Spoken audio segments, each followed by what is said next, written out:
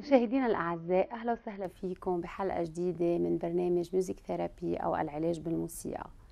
حكينا كتير بالحلقات السابقة عن العلاج بالموسيقى يلي هو نوع من العلاجات الفنية المحفزة على التعبير يلي بنستخدم فيه الموسيقى لنحسن الحالة العامة للفرد ونحافظ على الرفاه الجسدي والنفسي والاجتماعي عنده. وأكيد هو بينطوي على مجموعة واسعة من الأنشطة مثل الاستماع للموسيقى الغناء العزف آه، على آلة موسيقية والحركة. بنعرف العلاج بالموسيقى إنه هو استخدام المهارات والعناصر الموسيقية من قبل الشخص المعالج بالموسيقى للحفاظ والتعزيز أو لاستعادة الصحة العقلية الجسدية العاطفية والروحية عند الإنسان لأنه الموسيقى بتحمل الصفات التعبيرية غير اللفظية الإبداعية والعاطفية. بكل حلقاتنا السابقة نحن حكينا عن الموسيقى كعلاج آه، وتأثيرها على الأمراض النفسية والاضطرابات عند الأشخاص إن كان اضطرابات النمو أو الاضطرابات النفسية والسلوكية. اليوم رح نتناول الجانب الثاني من الموسيقى يلي هو الجانب البحثي وكيف الموسيقى بتقدر تأثر على الإنسان. يعني أنا بقول الموسيقى يلي بترافقنا من طفولتنا واللي بتضل على طول معنا هي كمان بتقدر تساعدنا إنه ننمي الذكاء عنا بكل مجالاته. الأبحاث يلي صارت بكل العالم على هذا النطاق واسعة كتير وبستند لبعض الأبحاث يلي عملها أوليفر آه، ساكس يلي عمل صور للدماغ بحالات آه، الاستماع للموسيقى عند بعض الأشخاص ولقى إنه دماغهم عم بيكون آه، متطور أكثر من الأشخاص يلي آه، ما عم بيستمعوا لموسيقى. وكمان قال إنه يلي بيعزفوا آلة موسيقية هن أشخاص عندهم تطور كتير كبير بدماغهم أكثر من غير أشخاص. وبهذا الإطار وبما أنه الجامعة الأنطونية هي السباقة آه، باختصاص العلاج بالموسيقى كمان عم بتقدم هالاختصاص لطلابها وكمان في فرق بحثية عم تشتغل على مستوى كتير عالي مع المركز البحوث وفي فرق كتير مهمة واليوم معنا آه، زميلتين آه، ناتالي أبو جودة دكتورانت آه، وكارمن سعادة كمان دكتورانت عم بيكونوا بقلب هالفرق البحثية وعندهم شغل كتير كتير قوي بهيدا المجال. بنحب نتعرف آه، عليك ناتالي أبو جودة. تخبرينا شوي شو شو درستي لحد هلأ وشو عم بتحضري بالدكتوراه؟ لنرجع آه، نفوت على البحث يلي عم بيصير آه، بإطار الأبحاث يلي عم تعملها الجامعة الأنطونية. أنا درست الموسيقولوجي أو علم الموسيقى بالجامعة الأنطونية. نعم. كان تركيز هو التربية الموسيقية. اشتغلت عندي DEA دبلوم دراسات معمقة. آه، اشتغلت بالمدارس علمت عندي خبرة تعليم مدارس بالتربية الموسيقية. ومن بعد سبع سنين آه، انتقلت للدراسة أو التعليم بالجامعة. وبخلال هذا الوقت آه، سجلت دكتوراه بسوربون بفرنسا عم بعمل كمان musicologie وموضوع بحثي هلأ كمان شوي بفوت ب بالمعرفة بالإدراك المعرفي بالإدراك السمعي لدى الطفل أو لدى المراهق. والدراسة اللي أنا عم بعملها هي شوي complémentaire مع زميلتي. آه نحن بنشتغل مقسمين الدراسة على قسمين. هي بتشتغل على الأولاد أنا عم بشتغل على المراهقين أو ال adolescents. okay وكارمن كمان بتعرفينا عن نفسك. شو دارسة؟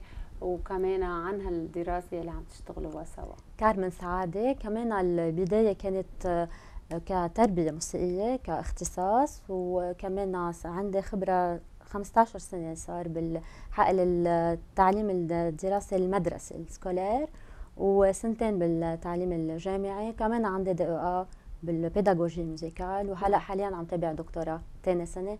وذات الشيء الموضوع اللي نحن عم نحكي فيه عم نشتغل سوا بالدكتوراه بموضوع البحث اللي هو ال psychologie cognitive de la musique بشكل أساسي اللي هو كيف الموسيقى فيها تأثر على على المعرفة, المعرفة على القدرات المعرفية عند الولد والمراهق. آه البحث يلي بلشتوا فيه انطلقتوا استندتوا على أبحاث أكيد عالمية. آه فيكم تخبرونا شوي مين بحب يبلش يخبرنا بالأول؟ أول بارتي آه البحث العلمي اللي عم نعمله بالجامعة انطلق من دراسة عملوها راوشر. هن اتحاد علماء النفس بأمريكا بلوس أنجلوس تحديدا. سنة ال 94 انتشر مقال أو نشروا مقال آه بيحكوا عن ال étude أو الدراسة اللي عملوها بشقين مع ناس راشدين adultes آه ومع ناس مع أولاد.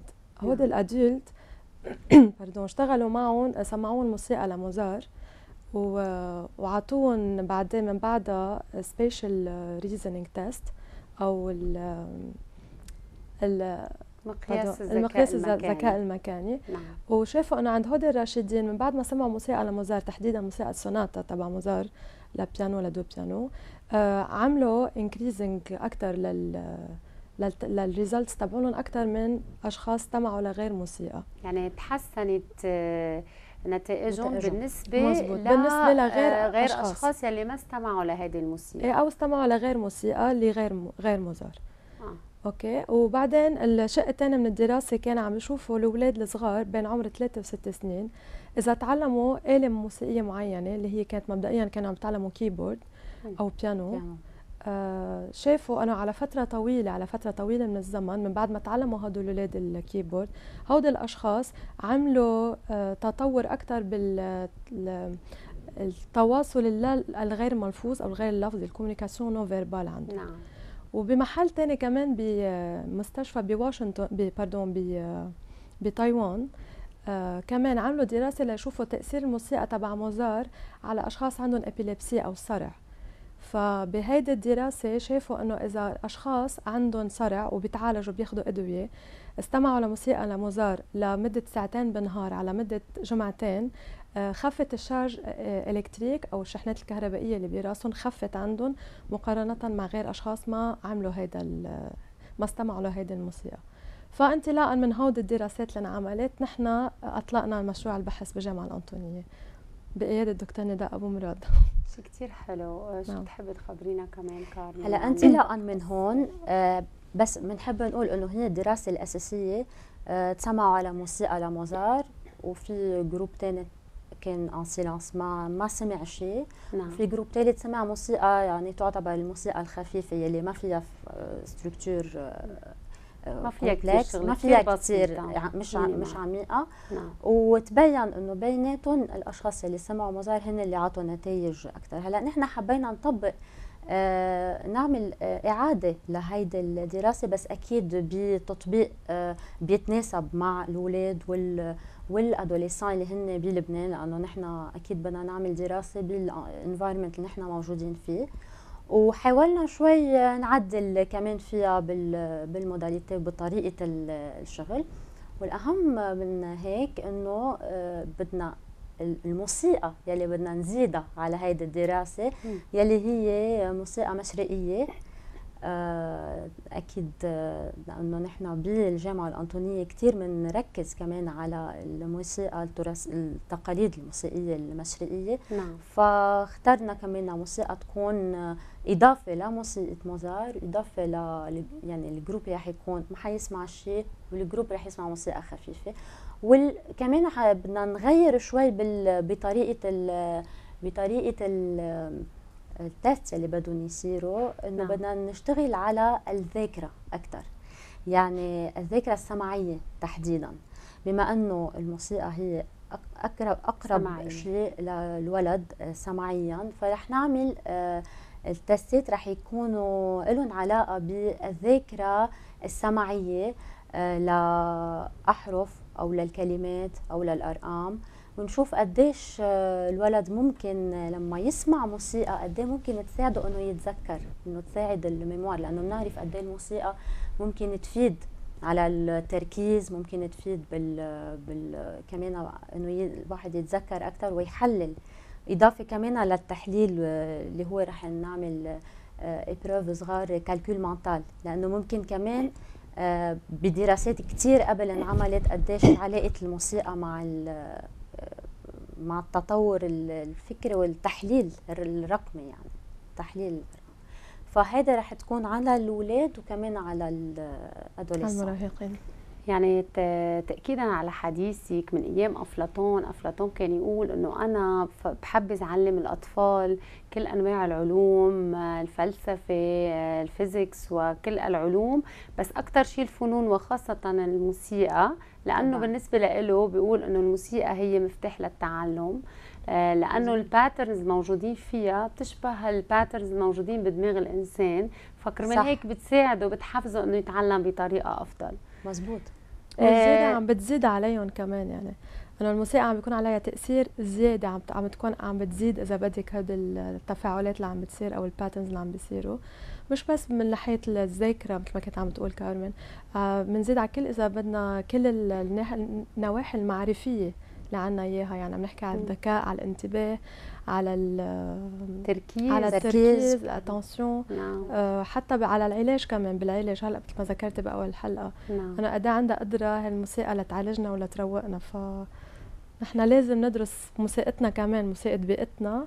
كرمال نقدر نحافظ عليها ونوصلها بعدين لأولادنا لبعدين واولاد اولادنا لبعدين كمان. صحيح لأنه كمان في شيء بعلم النفس بنسميه الـ inconscient collectif اللاوعي الجماعي هو بيكون موجود باللاوعي تبع كل الناس يلي عايشين بنفس المنطقة أو بنفس البيئة. فنحن اجباري نكون عم نسمع موسيقى مشرقية لحتى نقدر عم نكون عم نغذي دماغنا كمان بالأشياء لأنه يعني أصلا هي موجودة بدماغنا. صح. يعني لو نحن ممنوعة لها هي موجودة باللاوعي تبعنا. فوقتها نحن بنستعملها بنكون عم نحفز دماغنا إنه يشتغل بطريقة أفضل على كل الاصعده فينا نحكي عن البروتوكول يلي حضرتكم حضرتوه آه شوي كيف الستبس عم بيصيروا كيف آه كيف كيف اشتغلتوا أو كيف بعدكم عم بطور آه إنه تخلصوا لحتى صح. بعدين تستخلصوا النتائج كمان لهالدراسة المهمة. هلا آه، هيدا هيدا البروتوكول انعمل آه، ومفترض يتطبق آه، قريبا. وهلا بعد شوي بركي بنحكي كمان عن جزء أول من الدراسة اللي كمان انعمل. آه، البروتوكول تبعه وانعملت بتحبي نحكي البحث الميداني لأنه كثير نعم. مهم لأنه كنا عم نعم. نحكي عن أهمية الموسيقى وقديش بتطور القدرات الفكرية كنا عم نحكي قد إيه الموسيقى مهمة إنه الولد عم يسمع الموسيقى المشرقية لأن هي هو بينتمي لهالمكان صحيح. هيدا. فدراسات كمان يلي عم نعملها يلي هي لها علاقة بقد إيه الولد بيقدر يميز بهيدي الموسيقى قد إيه بيقدر يروح بالتمييز تبعه. فكمان عم ببين معنا بالنتائج إنه الولد لما يسمع ولما تجربي تعرفي كيف عم بتكون البرسبسيون تبعه عم عم تبين إنه عن جد في كثير آه، قرب بينه وبين هيدي الموسيقى لأنه هي انه عم يدركها مثل ما لازم عم يدركها مثل ما لازم نعم. آه ولأنه هي بالنهاية آه هيدي بيئته. يعني آه لو ما كان يمكن ببعض المحلات عم عم عم يدرسها نعم. بس هي موجودة. عم يتفاعل معها بشكل كثير كبير. صحيح صحيح. مين بحب يخبرنا عن خطوات البروتوكول يلي يلي قمتوا فيه؟ هلا كان يعني step by step أول شيء okay آه انكتب البروتوكول. نعم. وشفنا الموسيقى اللي على أساسها بدنا نشتغل تقسمت آه، بجمل بسيطة. وانعملت آه، من بخ على صورة على شكل ألعاب يعني نعم. هودي الألعاب بيتضمنوا ستة أو سبع ألعاب وبكل صح. لعبة هو مفروض يسمع جملة ويسمع من بعدها جملة إذا بيشوف إذا بيشبهها أو ما بتشبهها نعم. هلأ هو الولد بجوابه رح يقول لي أنا عم بسمع جملة بتشبه هيدا أو ما بتشبهها بس أنا بالنسبة لي إذا عم شوف آه، كيف كيف بدي أحلل هيدا هيدا الجواب اللي عم يعطيني إياه يعني عم بحلل إنه عم بشوف التفاصيل اللي كتير قريبة بين هيدا الجملة. عم بشوف هالجملة إذا عم عم بتروح من محل وبترجع لمحل تاني إذا عم تمثل سؤال أو عم تمثل جواب. هول كلهم على صعيد الـ psychologie cognitive لهم ترجماتهم. بس هو رح يعطيني جواب صغير بتشبهها أو ما بتشبهها سؤال ولا جواب. نعم صح. يعني يعني عم نشوف إذا هو عم يقدر يدرك البنية العميقة تبع الموسيقى.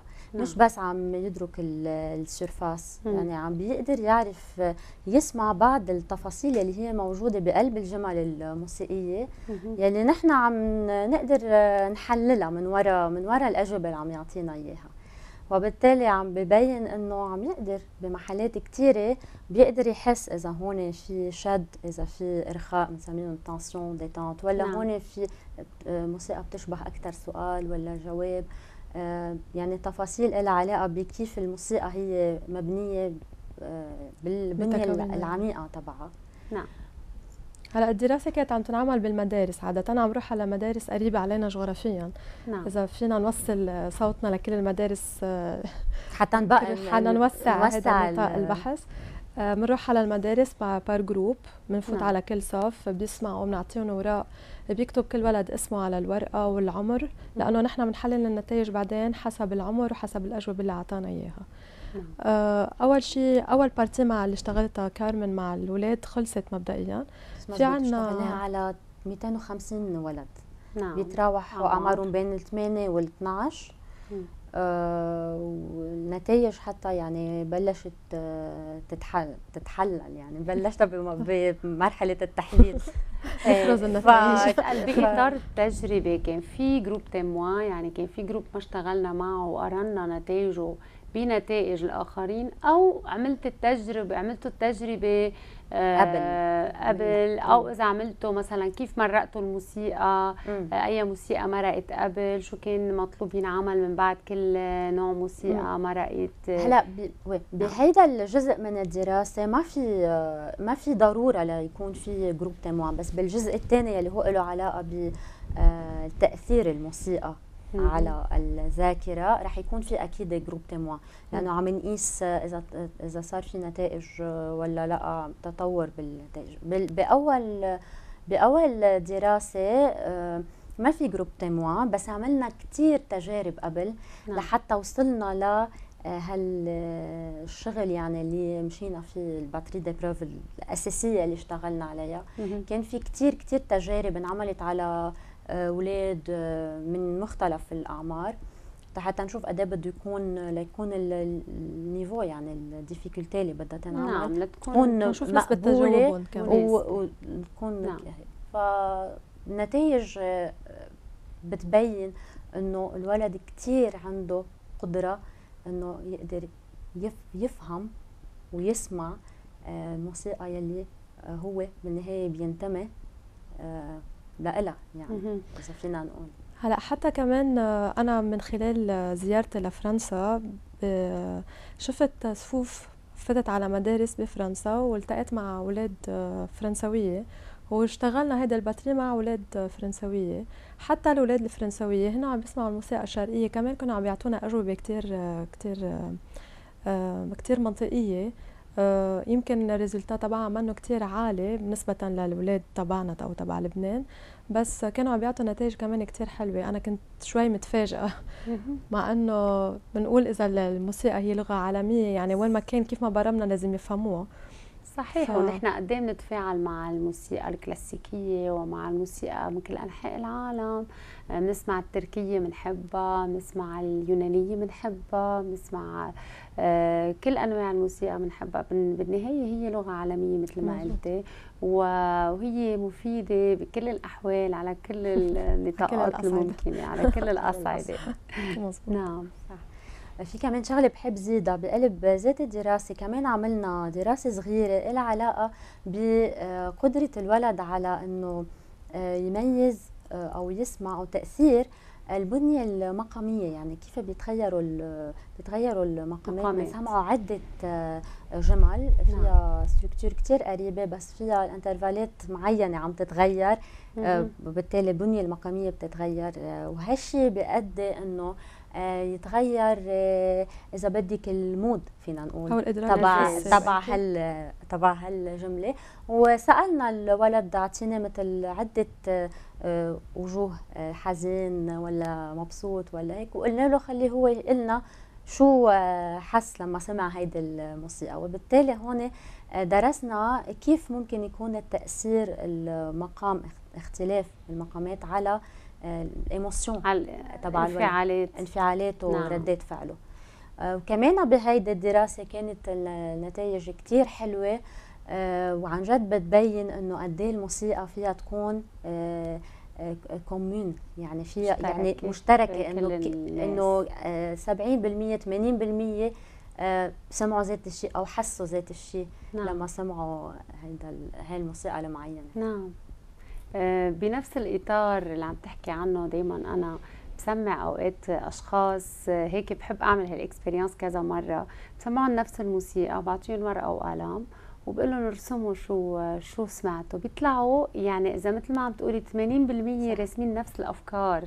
آه نفس بيستعملوا نفس الألوان. يعني بتحسي إنه لا عن جد هون الموسيقى عم بتحكينا بمحل. عم بتحكينا هي شو صح. شو يعني شو بدها إيانا نرسم. هون عم نرسم طبيعة هون عم نرسم بحر مزبوط. هون عم نرسم آه، يمكن آه، أشياء بشعة أشياء زعلانة حسب نوع الموسيقى يلي يلي عم نرسمها. آه نحن هلا خلصنا الجزء الأول عن دراستكم يلي عم تحضروها وبتمنى لكم النجاح فيها. ورح يكون عندنا بعد حلقه ثانية معكم عن نفس هالموضوع. أنا بدي أشكر وجودكم معنا اليوم نتالي أبو جودة آه، أستاذة بالجامعة الأنطونية آه كارمن سعادة أستاذة بجامعة الايو آه واثنيناتكم آه آه، دكتورات واثنيناتكم ناشطين كثير بالفرقة البحثية وعم تشتغلوا من كل قلبكم و وهيك بحماس كثير كبير. آه، نحن بنشكركم عم نشتغل للموسيقى. طبعا وان شاء الله بضلوا دائما بهالهمة وميرسي كثير لحضوركم معنا اليوم وأكيد لنا تتم بالحلقة الثانية merci merci لك. مشاهدينا بنشكر آه، وجودكم معنا بهالحلقة وتابعونا بالحلقة الأخيرة من برنامج Music Therapy يلي رح نكمل كمان فيها حديثنا عن الأبحاث بالموسيقى. شكرا لكم.